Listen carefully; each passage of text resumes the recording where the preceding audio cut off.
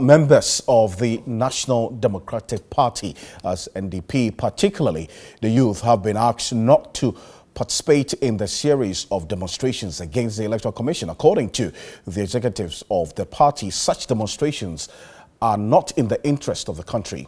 Uh, General Secretary of the NDP, uh, that's uh, Alhaji Mohammed Frimpong, was addressing the party regional delegates in Hohoe and Jasikan.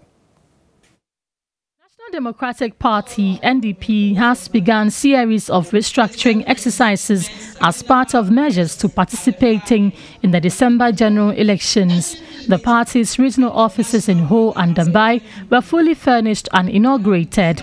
The regional executive for both Volta and Oti regions were, by popular acclamation, sworn into office by the General Secretary of the party with support from some national executive officers.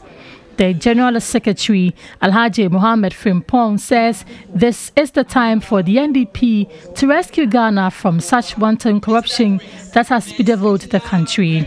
He added his voice to calls for a new voters register.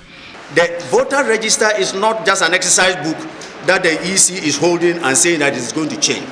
And for that matter, you know, we want our uh, uh, members in the voter region to understand that clearly it is the machine which is giving them the trouble, and the suppliers have told them to find, you know, some better ways of making sure that it can serve the purpose, you know, for which they acquired it. The National Women's Organizer, Peace I, charged delegates to go all out to propagate the workable vision of the party to electorates to enable them win power.